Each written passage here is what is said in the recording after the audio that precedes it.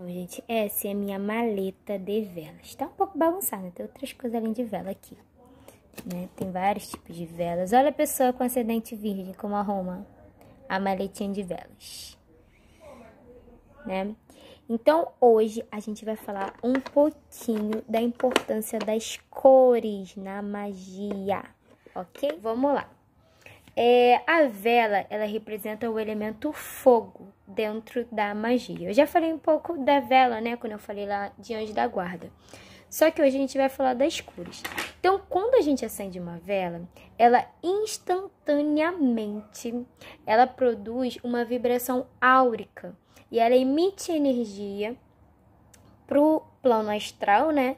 E ele recebe as nossas intenções. É por isso que a gente diz que toda vez que você acender uma vela, você tem que colocar as suas intenções. Que ali você está abrindo um portal, uma conexão direta com o plano astral. E no que, que as flores influenciam nisso? Hum? Vela branca. Né? Aqui tem vários tamanhos. Essa é a vela é, menorzinha. Essa é a vela que a gente geralmente, padrão normal que a gente usa. E a vela de sete dias, que geralmente a gente acende para nossos anjos da guarda. Até vem escrito aqui, anjo da guarda. Né? A vela branca, gente, ela simboliza paz, tranquilidade, conforto espiritual. Ela pode ser usada para substituir qualquer outra. Temos a vela amarela, tá? Eu coloquei dois tamanhos para explicar melhor para vocês. É, quando a gente acende uma vela comum, a gente está ativando a energia. E a conexão, ela fica é, aberta enquanto a vela estiver acesa. Então, se eu preciso fazer um trabalho onde eu preciso que a conexão fique aberta durante sete dias, eu compro uma vela de sete dias. É só, é só essa diferença de uma vela para outra, tá bom?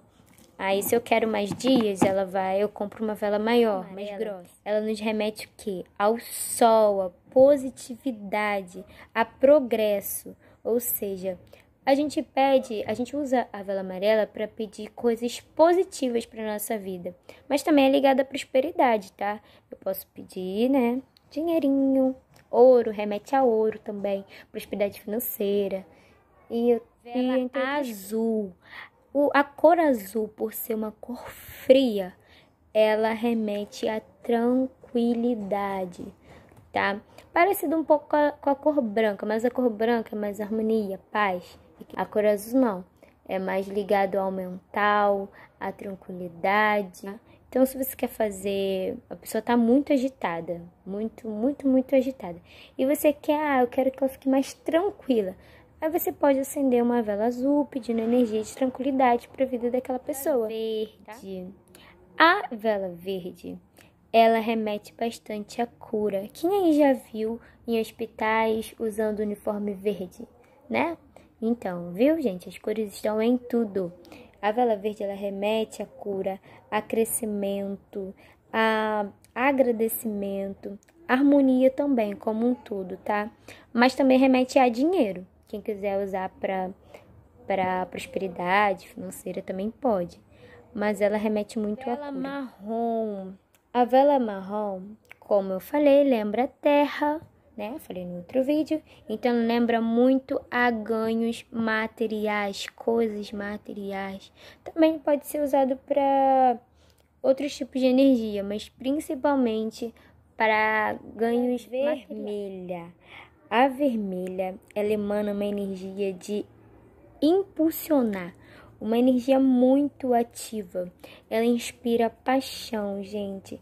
Ela, a vela vermelha, na verdade, ela lida com as mais intensas emoções do ser humano, tá? Depois eu vou falar um pouquinho dessa vela vermelha, tá? Mas principalmente remete à paixão, a, a energias impulsionadoras. laranja traz ânimo, felicidade, traz energia, traz alegria, tá? É uma, é uma vela que corta também energias negativas. Ela traz muito ânimo, tá? Muito, muito. É uma cor quente. Então, se a pessoa tá com depressão, ou então tá muito melancólica, só fica na cama, a gente pode intencionar uma vela laranja para ela, para ela levantar, para ela ter ânimo, para ela seguir a vida, tá? Ficamos pra cima. Alto astral. É isso que essa vela remete. Ela tá meio pálida, mas é rosa. Amor, tá? Ela remete àquele amor puro, sabe? Entre mãe e filho. Até entre marido e mulher também, mas é a pureza do amor. É a parte mais que eu ainda quero falar de duas cores, que é a mais forte, é o roxo, no caso, é uma cor de transmutação. É uma vela que você pode transformar energia, transformar energias, transmutar, né? Você pode, depende da sua intenção, você pode pedir para transmutar uma energia negativa em energia positiva, tá? E a vela preta, embora as pessoas tenham um pouco de medo da vela preta, a, o preto ela é uma cor neutra, mas que absorve muito, muitas coisas e muito rápido. Então, se você quer fazer um trabalho de limpeza ou de banimento, você quer banir alguma coisa, você pode fazer uma, uma vela de banimento usando a vela preta, porque ela suga muito rápido, ela suga aquilo, aquilo tudo muito rápido. As negativas serão queimadas juntos com aquela vela, tá?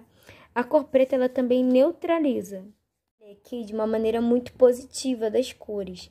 Só que sa saiu da receita, o negócio pode dar errado. Então, assim, tô fazendo uma magia de, de amor próprio. Na receita pede para botar, para usar uma vela rosa, né? Então, eu vou lá e falo, ah, não, mas eu quero muito amor próprio. Aí eu coloco quatro velas rosas.